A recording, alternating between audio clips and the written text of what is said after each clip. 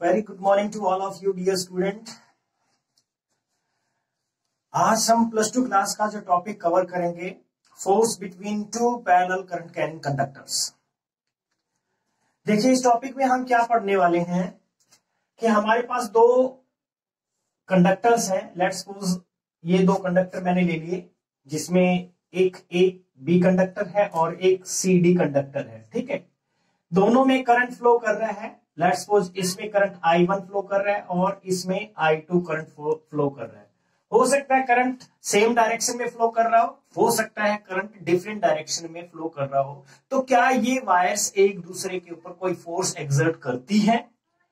अगर करती हैं तो कितना करती है? उसकी डायरेक्शन क्या रहेगी? आज इस टॉपिक में हम कवर करेंगे। टॉपिक वेरी इंपॉर्टेंट है।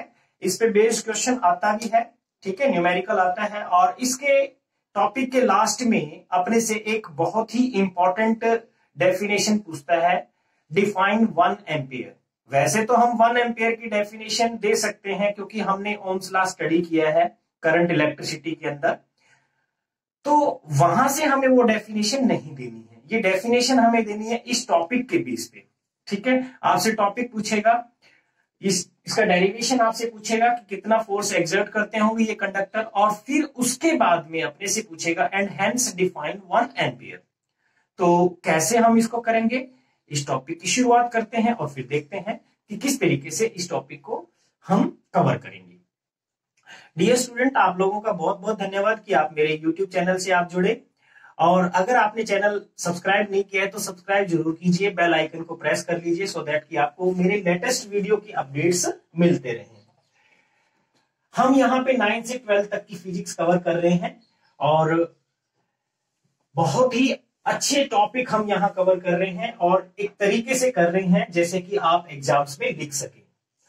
तो लेट्स सपोज़ कि दो कंडक्टर हैं हमारे पास ए बी और C D both are separated by distance r. Let's suppose these are separated by distance r. इनके बीच में गैप r है। अब हम देखेंगे कि इनके ऊपर फोर्स बनता जो है, वो कितना बनता है और उस फोर्स की डायरेक्शन क्या होगी। ये हमें फाइंड आउट करना है। टॉपिक इजी है। तो सबसे पहले हम कैसे करेंगे? भाई, ये कंडक्टर मैंने कंसिडर कर लिया पहले ए बी अब ए बी कंडक्टर की वजह से इस पॉइंट के ऊपर मैग्नेटिक फ़ील्ड बनेगा और मैग्नेटिक फ़ील्ड के अंदर रखा हुआ ये कंडक्टर हो गया। ठीक है? और ये हमने लास्ट लेक्चर में कवर किया था कि जब भी कोई करंट कैरिंग कंडक्टर किसी मैग्नेटिक फ़ील्ड में रखा होता है तो उस पर फोर्स कितना बनता है? वो आपको याद भी होगा एफ़ इज़ इक्वल टू हमने पढ़ा था I L B sine of theta ठीक है? साइन ऑफ़ थीटा ये हमने स्टडी किया था। करंट कैरिंग कंडक्टर, उसमें करंट कितना फ्लो कर रहा है, उसकी लेंथ और बी क्या है? मैग्नेटिक फ़ील्ड जिसमें उसको रखा है हमने। ठीक है? तो अभी हम क्या करते हैं कि इस फ़र्स्ट कंडक्टर की वजह से इस पॉइंट के ऊपर कुछ मैग्नेटिक फ़ील्ड बनता होगा और उस मैग्नेटिक फ़ील्ड की डायरेक्शन भी अपने को पता है। आर डिस्टेंस पे यहाँ मैग्नेटिक फ़ील्ड बना किस वजह से? फ़र्स्ट कंडक्टर की वजह से। और उसकी डायरेक्शन क्या होगी? राइट हैंड थंब रूल लगाइए। राइट हैंड थंब रूल अगर इस कंडक्टर पे लगाए तो इसकी वजह से जो मैग्नेटिक फ़ील्ड बनेगा, यहाँ perpendicular inward to this plane बनेगा, ठीक है? यहाँ पे परपेंडिकुलर इनवर्ड को मैं क्रॉस से रिप्रेजेंट कर देता हूँ, यानी मैग्नेटिक फ़ील्ड बी वन बन रहा है, जो इनवर्ड डायरेक्शन में बन रहा है। यानी करंट की जो डायरेक्शन है, वो तो ये होगी करंट कैरिंग कंडक्टर इस मैग्नेटिक फ़ील्ड के अंदर रखा है, और मैग्नेटिक फ़ील्ड इस कंडक्टर के ठीक परपेंडिकुलर है। तो यानी साइन ऑफ़ 90 डिग्री बन रहा होगा। बात करते हैं ये बी वन होगा कितना। ये हमने पहले पढ़ा हुआ है कि B1 होता है is equals to mu naught I one divided by two pi R ठीक है? आर डिस्टेंस हो गया। किसी भी स्टेट कंडक्टर से आर डिस्टेंस पे हमने देखा था कि मैग्नेटिक फ़ील्ड कितना होता है? Mu naught I one divide by two pi R I one इसमें जो करंट फ्लो कर रहे हो।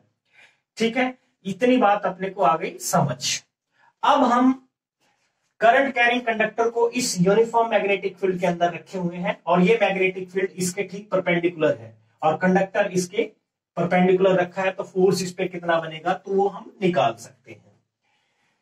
ठीक है, हम लिखते हैं magnetic force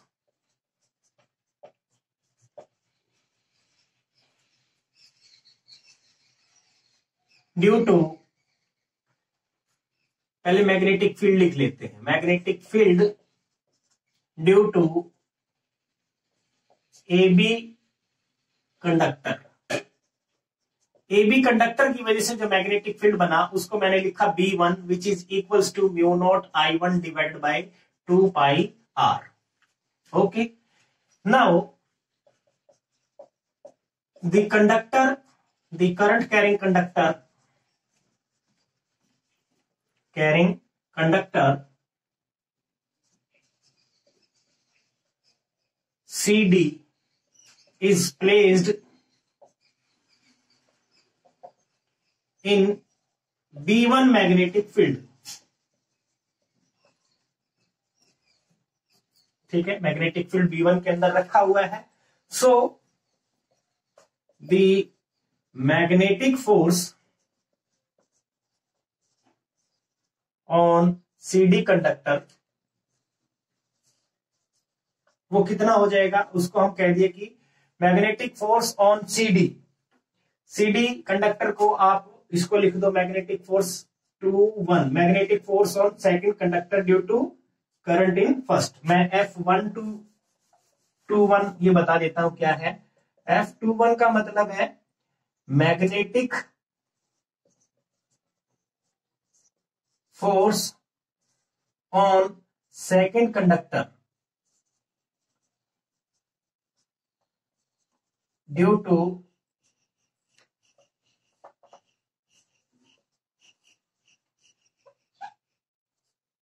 due to current in first conductor ठीक है?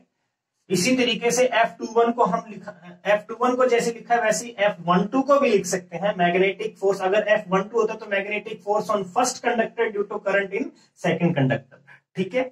अब यही चीज़ जो है, हमने जो अभी सीखी है, इसको मैंने अप्लाई किया। सेकंड कंडक्टर पे फोर्स जो लगता है, वो कितना होता है? आई एल बी और साइन 90 डिग्री है। साइन 90 डिग्री बन रहा है ये तो। लेकिन आई वन लू या आई टू लू, ये चीज़ हमें नहीं पता है अभी भी। तो इसके लिए मैंने आपको क्या बताया है कि हमारा कंडक्टर जो है, जिसमें करंट फ्लो कर रहा है आई टू इसमें करंट फ्लो कर रहा है आई टू और लेंथ इसकी एल होगी। किस मैग्नेटिक फ़ील्ड के अंदर रखा है? बी वन मैग्नेटिक फ़ील्ड जो बी वन किसकी वजह से बना है? ए बी कंडक्टर की वजह से मैग्नेटिक फ़ील्ड बना है, उसमें रखा है। तो बी वन ठीक है? अब बस यही सारा कुछ है। इसको मैंने लिख दिया F two one vector sign हटा दो एक बार। As it is L two I two L B one हमारे पास आया है। Mu naught I one divided by two pi R sine ninety हो गया। वन। सो so, इस तरीके से हमारे पास जो ये वैल्यू आई है इस वैल्यू को अब हम क्या लिख सकते हैं? इसको लिख सकते हैं हमारे पास F two one is equals to mu naught mu naught I one I two divide by two pi R into L ठीक है? ये फोर्स आ गया। ये फोर्स आ गया। ठीक है जी? अब इस फोर्स को अगर आप समझ गए हो तो सिमिलरली हम दूसरे कंडक्टर पे भी होगा, क्योंकि इसमें करंट फ्लो कर रहा है तो डेफिनेटली ये भी तो मैग्नेटिक फ़ील्ड बनाएगा। जैसे मैं ये कहूँ कि इसका मैग्नेटिक फ़ील्ड कुछ ऐसा होगा आर डिस्टेंस पे तो यहाँ पे भी मैग्नेटिक फ़ील्ड यहाँ परपेंडिकुलर आउटवर्ड होगा डॉट लगाया है। Perpendicular outward to the plane right hand thumb rule लगा के देखिए करलिंग फिंगर बाहर की तरफ़ आ रही है तो यहाँ पे मैग्नेटिक फ़ील्ड बी टू बनेगा। ठीक है? और जिसकी डायरेक्शन आउटवर्ड होगी परपेंडिकुलर टू दिस प्लेन तो ये जो चीज़ अभी आपने पढ़ी है, इसी की जगह पे हम सिमिलरली करके दूसरे कंडक्टर पे जो फोर्स बनेगा, वो भी लिख सकते हैं।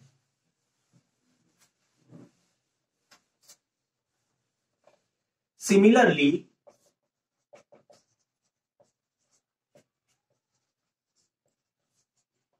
magnetic force on AB current carrying conductor,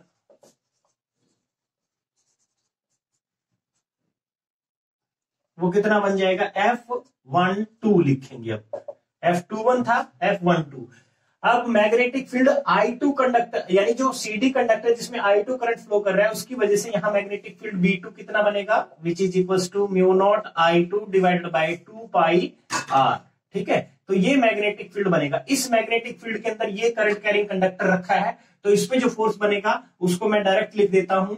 Mu naught I one I two divided by two pi R into L ठीक है?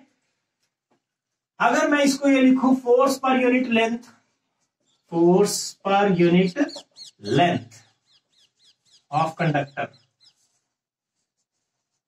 तो ये बन जाएगा F one two divide by L या F two one divided by L क्योंकि same है।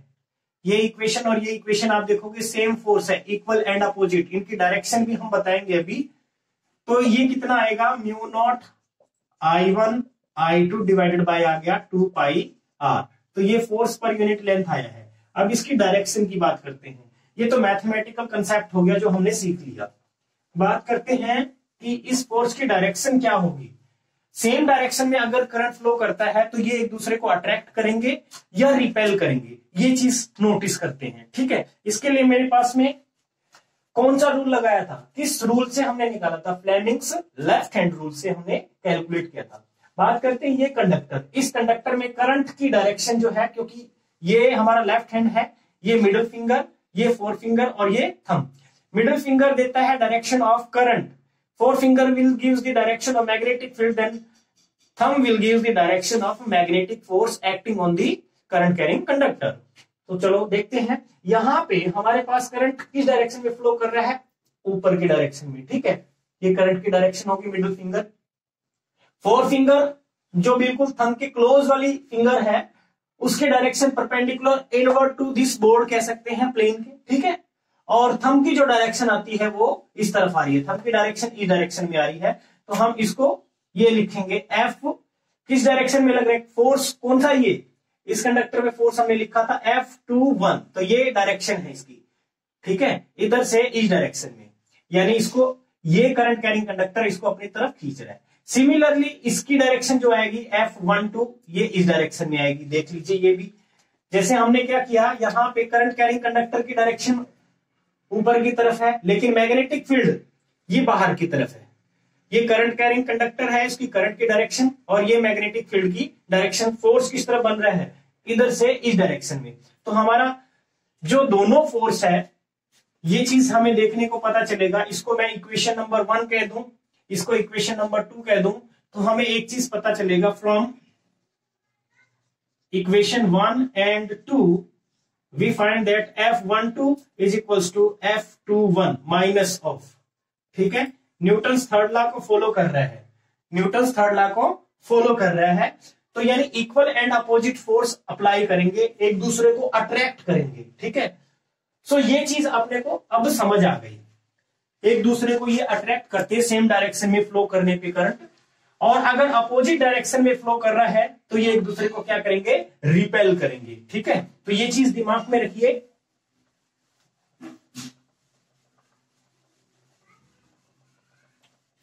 ये याद रखिए। मैं यहाँ लिख देता हूँ। The conductors will attract each other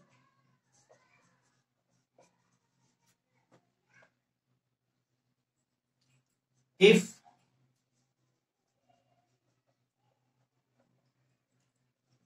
current flowing in two parallel conductors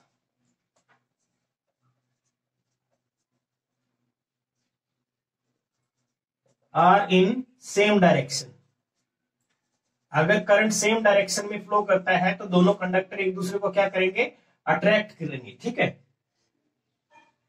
The conductors will attract each other if current flowing in two parallel conductors are in same direction and repel each other if current flowing in them is in opposite direction तो वो एक दूसरे को क्या करेंगे? उस case में फिर रिपेल करेंगे। अगर अपोजिट डायरेक्शन में करंट फ्लो कर रहा है उन दोनों कंडक्टर में तो वो एक दूसरे को क्या करेंगे? रिपेल करेंगे। ठीक है? हाँ जी, अब आपको ये सारे पॉइंट्स तो क्लियर हो गए हैं। अब हम बात करते हैं कि भाई वो वन एम्पेयर कैसे डिफाइन करना है, जो मैंने शुरुआत में ही कहा था। ठीक है? वीडियो को फटाफट लाइक ज़रूर कर दीजिए और शेयर ज़रूर करिए।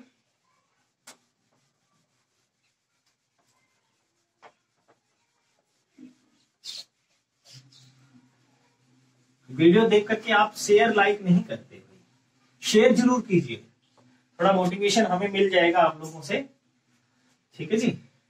अब देखिए as we know F divide by L force upon length जो आया है, उसको हमने लिखा mu naught I one I two divided by two pi R अब हम वन एम्पियर की डेफिनेशन कैसे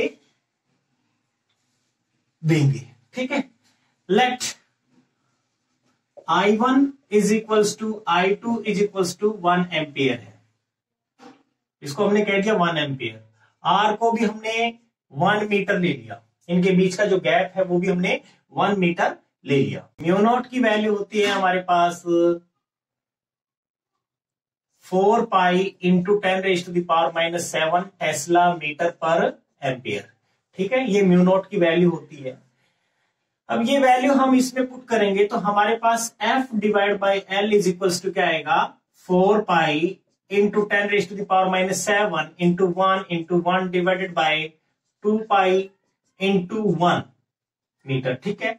इसको आपने कैंसिल किया तो टू पे कैंसिल हो गया। तो हमारे पास जो वैल्यू निकल के आती है F divide by L is equal to twice of ten raise to the power minus seven ठीक है? और इसकी यूनिट जो आएगी, वो आएगी Newton per metre Newton per metre तो जी, अब किस तरीके से हम इस वन एम्पियर को डिफाइन करें? इसको कैसे डिफाइन करें? वन एम्पियर क्या होगा? वन एम्पियर की डेफिनेशन अब हम यहाँ लिखते हैं। So one ampere is defined as is defined as the current flowing through two parallel conductors placed in vacuum at 1 meter apart.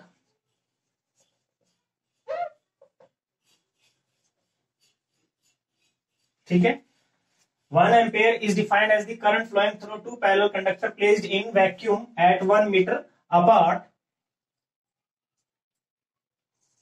and force per unit length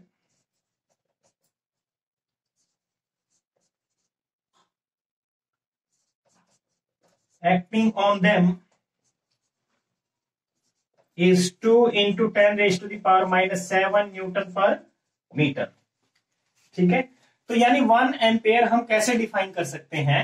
one ampere हम define कर सकते हैं जब हमारा जो दो कंडक्टर है ये एक मीटर डिस्टेंस पे रखे हो वैक्यूम के अंदर, और दोनों एक, दोनों कंडक्टर के अंदर वन एम्पेयर करंट हम तभी डिफाइन कर सकते हैं जब इन दोनों के बीच में गैप कितना हो, वन मीटर हो। और दोनों एक दूसरे के ऊपर जो फोर्स अप्लाई कर रहे हैं वो कितना हो, two into ten raise to the power minus seven newton per metre ठीक है? तो इस तरीके से आप डिफाइन कर सकते हो। तो ये है दो पैरल करंट कैरिंग कंडक्टर के बीच में लगने वाला फोर्स और फोर्स पर यूनिट लेंथ कितना है? ये है। Mu naught I one I two divide by two pi R दोनों, चाहे वो फोर्स ये लगा रहा हो या ये लगा रहा हो, दोनों केस में I one into I two आएगा। ठीक है? और जो उनके बीच का डिस्टेंस है आर वो भी कॉमन है, म्यू नॉट, जो भी वैक्यूम आपने लिया है या फिर कोई मीडियम लिया है। सो so डेफिनेटली जो फोर्स है एक दूसरे के ऊपर अप्लाई होते हैं न्यूटन थर्ड लॉ फॉलो करते हैं। ठीक है? तो ये था हमारा आज का टॉपिक मेरे ख्याल से बहुत अच्छे से समझ में आ गया होगा। और अगर समझ आया है तो प्लीज़ अगर चैनल पे अभी तक आपने सब्सक्रिप्शन अपना नहीं दिया है तो प्लीज़ सब्सक्राइब ज़रूर कर लीजिए और कमेंट ज़रूर डालिए, ठीक है? और इसी उम्मीद के साथ कि आप मेरे चैनल से जुड़े रहेंगे और मुझे अच्छे अच्छे कमेंट करेंगे लाइक करेंगे मेरे वीडियो को। इसी उम्मीद के साथ thank you have nice day good luck